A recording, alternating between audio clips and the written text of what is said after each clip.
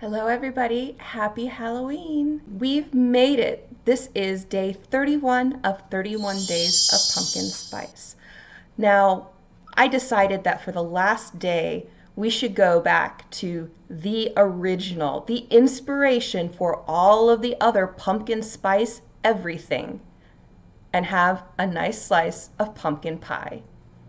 Here it is a beautiful slice of homemade pumpkin pie.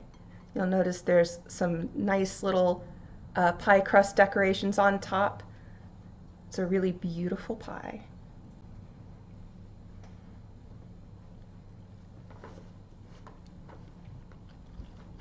Mm.